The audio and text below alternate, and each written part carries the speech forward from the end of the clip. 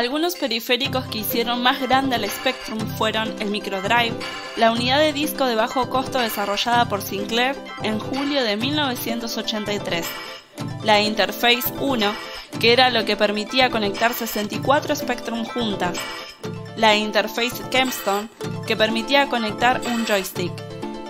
Luego vino la Interface 2, que permitía colocar dos joysticks y un cartucho de juegos o programas. En otras empresas podemos encontrar distintas interfaces como la Opus Discovery o la Disciple que venían a agregar un pack de utilidades al hardware, como por ejemplo una disquetera.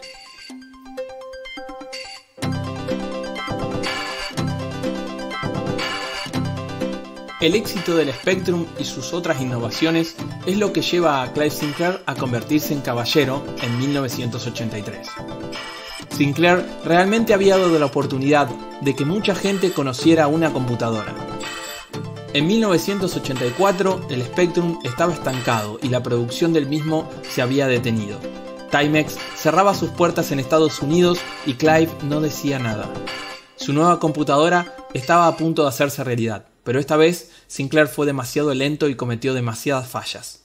Alison McGear, una gerente de software muy importante, telefonía a Sinclair él estaba creando una nueva computadora, hasta ahora llamada ZX83. La mujer dijo que tenía un nombre para su nueva computadora, QL. You are about to witness Clive Sinclair's quantum leap. He's come up with a computer to rival these machines at a fraction of their cost. The Sinclair QL system with a massive 128K memory, color monitor, and four professional software packages, 698 pounds. Phone 200 0200 for your nearest stockist. QL o salto cuántico se presentó en una conferencia de prensa en el Hotel Intercontinental el 12 de enero de 1984. Prometía ponerse a la altura de los grandes, debido a que ya no era una máquina orientada para jugar. Sinclair se vio derrotado con la salida de esta máquina.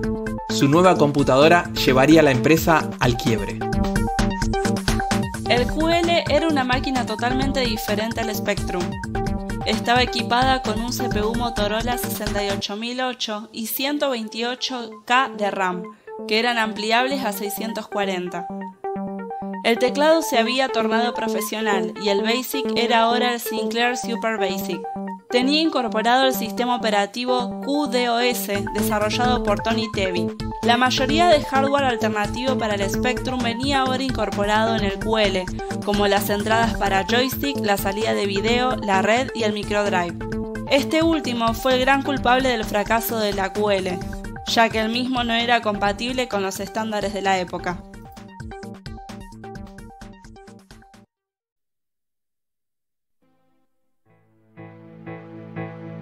Con esta máquina, Sir Clive abandona un poco la filosofía de lo barato para poder incluirse en el campo laboral, ya dominado por sus competidores.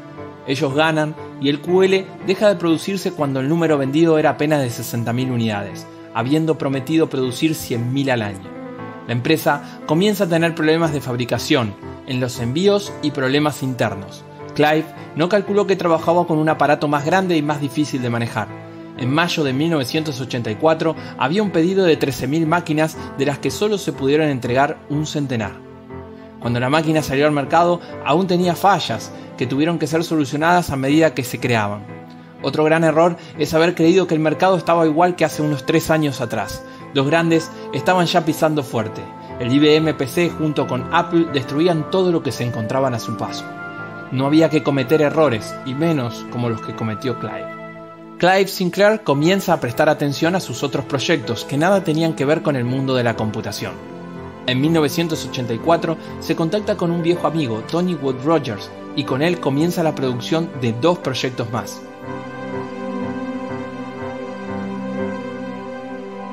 El TV80, la nueva actualización del TV de Clive, salió tarde. El televisor tuvo un bajo coste, apenas 80 libras, no fue un gran éxito e hizo que la empresa siguiera perdiendo. Hoy en día es un artefacto muy difícil de conseguir. Sinclair quería desde hace tiempo fabricar un auto baterías que fuera considerado como tal. En los 70 abandona el proyecto Sueño para dedicarse a las calculadoras, que estaban pisando fuerte y daban más rentabilidad a la empresa. Sin embargo, en 1985 el sueño se hace realidad y Sinclair vuelve a fracasar. El primer y último auto eléctrico de Sinclair iba a llamarse C1, luego terminó siendo C5. Junto con el QL, este sueño de Clive se había vuelto una pesadilla. Su empresa perdía cada vez más, el pequeño auto aún no estaba preparado para una sociedad enferma por el petróleo. Es por eso que la empresa acaba su producción a los 10.000 C5, quedando en stock un centenar de ellos.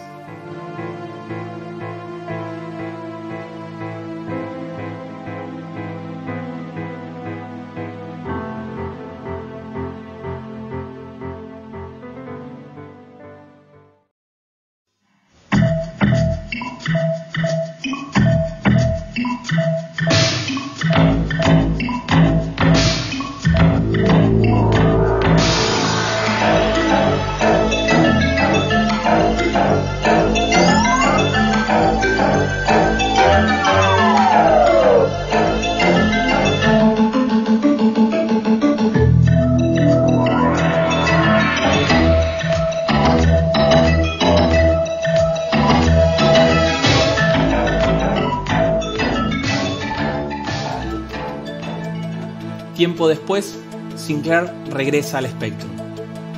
Una máquina salida a finales de 1984 que venía a solventar el problema más grande que tenía el Spectrum original, el teclado. El nuevo teclado era de 58 teclas esculpidas, incluyendo una barra espaciadora. Es por este motivo que no se vendió tan mal. Fueron las ganancias de este ordenador lo que le dieron la última chance a Clive. Un tiempo después, el Plus comenzó a venderse con Investrónica.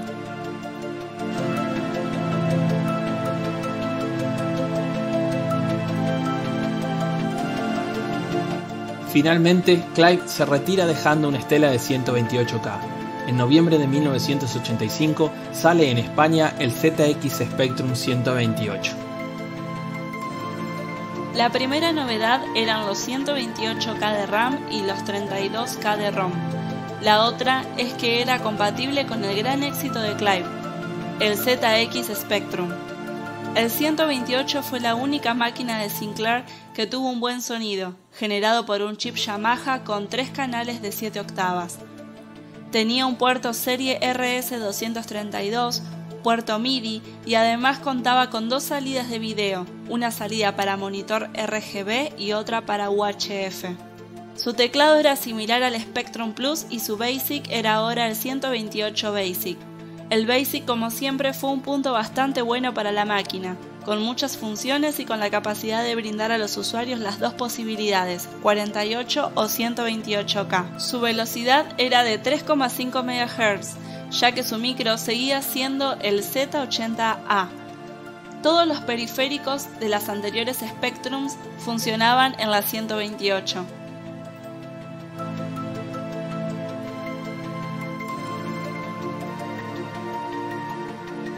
Sin quererlo, Sir Clive Sinclair había creado un pequeño estándar con cinco máquinas y todos sus clones, y había llegado a numerosos hogares del mundo que no tenían ni idea de lo que era una computadora. Muchos hablan que la informática no sería la misma hoy en día si él no hubiera creado la maravillosa Spectrum. Sin embargo, duró poco. Es en febrero de 1985 cuando comienza a querer levantar la empresa. Reestructura los cargos y charla con los inversionistas, pero las deudas eran demasiado elevadas. En julio del mismo año pierde el control y la empresa ya tiene precio. Robert Maxwell es el primero en querer comprar la Sinclair Research, la cual tiene 15 millones de libras en deudas. En mayo, Clive piensa en abandonar el cargo de presidente, Maxwell se retracta y la empresa queda en manos de Amstrad, que surgía como un gran competidor. Alan Sugar, presidente de Amstrad, dijo que dejaría de lado el QL, ya que había sido un rotundo fracaso aunque otros afirman que lo dejó por ser un gran competidor de su actual computadora. Es aquí donde termina la era del espectro. Sinclair se había quedado con la división de su empresa que se refería a vehículos y a investigaciones.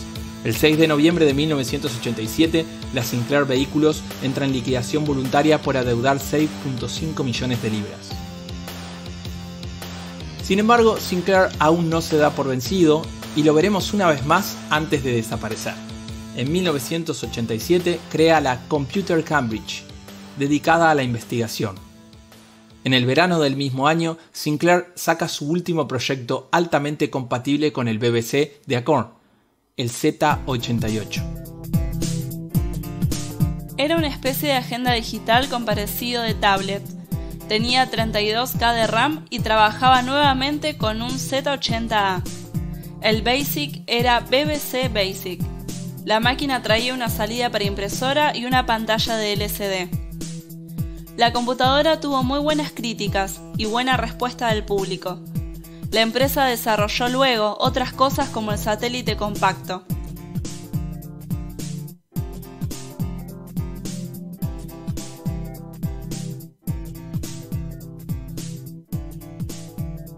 Desaparece en 1990 y con ella se lleva toda la mágica existencia de Sir Clive Sinclair en el mundo de las computadoras.